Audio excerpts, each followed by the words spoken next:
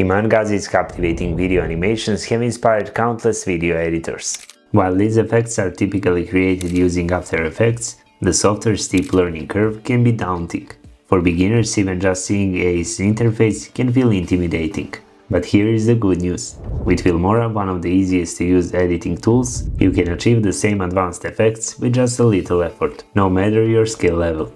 Today, I'll show you how to recreate these effects using Filmora on PC. Let's start by exploring an awesome new tool in Filmora, Planar Tracking. Click on New Project and import your video, then add it to the timeline. I'll be using this clip, which currently looks like this before editing. Here is how to activate planar tracking. Go to the video tab on the right, then click AI Tools and activate planar tracking. After that, select Advanced mode. It is very important to move the playhead to the beginning of the video. The next step is to drag the four corner nodes to align with the tablet corners for any moving object in your video. For accuracy, choose High from the options, then click Analyze and wait for the process to complete. Now we will add the video we want to display on the device's screen, select Import from computer under the link element and choose the video.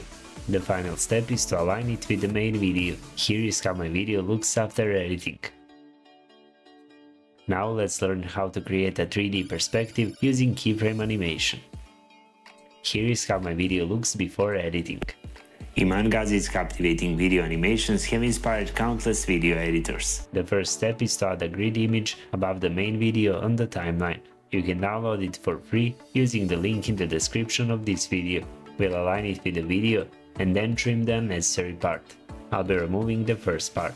The next step is to click on it and then enlarge it on the right side to fit the background.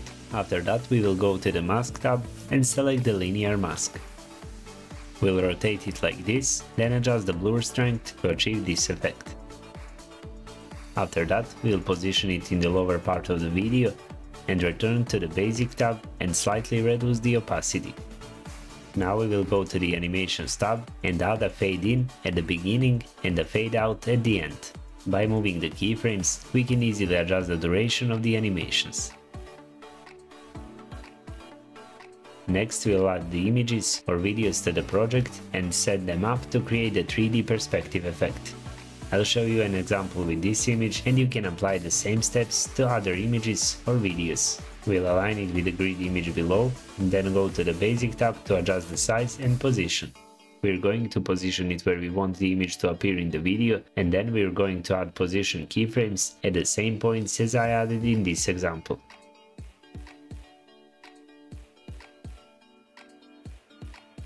Now adjust the y-axis at the beginning so the image moves out of the frame and then repeat the same steps at the end. This will create a smooth animation of the image moving. Now let's make the animation better.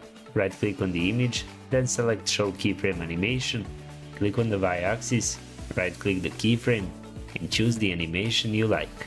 I chose ease out animations. When you're done, right click and select hide keyframe animation. Now let me show you how to make this image 3D. Just go to the effects tab Click on Video Effects, then under the Basic subtab, find the basic 3D effect and drag it into your image. Now on the right side, click on the Effects tab. Position the playhead where you want the 3D animation to start, then add the Rotate and Tilt keyframes. After that, at any point, we can adjust the settings to create a 3D perspective animation that looks simple and professional. Then at the endpoint, we can reset the settings to their original values. This type of animation is very popular and used by many content creators to enhance their videos. After editing my 3D animation looks like this. Iman Gadzhi's captivating video animations have inspired countless video editors. Now let's move on to creating the next cool animation. The animation looks like this. We need to add a talking head video to the timeline then place an animated background above it. I'll be using the wavy grid background, which you can download for free via the link in the description. The next step is to add the talking head video on the top of the other videos. Then lower the volume and remove the background. To remove the background, click on AI Tools in the Video tab on the right and activate AI Portrait Cutout. This will remove the background in just a few seconds. Now, let's position the playhead where we want the animation to start, then go to the basic tab and add a position keyframe. Next, move to where you want the animation to end and adjust the y-axis so the person is no longer in the frame. Right click the video and select show keyframe animation. After that right click on the keyframe and choose the animation you like. I used ease out animation for this video. After that right click on the video and then click on hide keyframe animation. The next step is to click on the background and create a fade in animation. We will do this by adding a keyframe for opacity and then reducing the opacity a few frames before that. After editing, the cutout animation should look like this. Now I'm going to show you a cool trick to create a 3D spinning logo animation. Add the logo to the timeline, then set the duration to 2 seconds. The next step is to adjust the size to your preference in the basic tab. After that you can adjust the opacity and other settings to your liking. The next step is to go to the Effects tab, open the Video Effects subtab, click on Basic and drag the basic 3D effect onto the logo. Now, click on the Effects tab on the right side of the screen. After that, add a rotate keyframe at the start of the logo image. Go to the end of the logo image, then the next step is to type 360 degrees under rotate option. To loop the effect, simply duplicate the clip as many times as you want the effect to last. After editing, the animation looks like this. Editing videos like Iman Gadzhi with Filmora is this easy. Download Filmora today and create stunning professional effects effortlessly.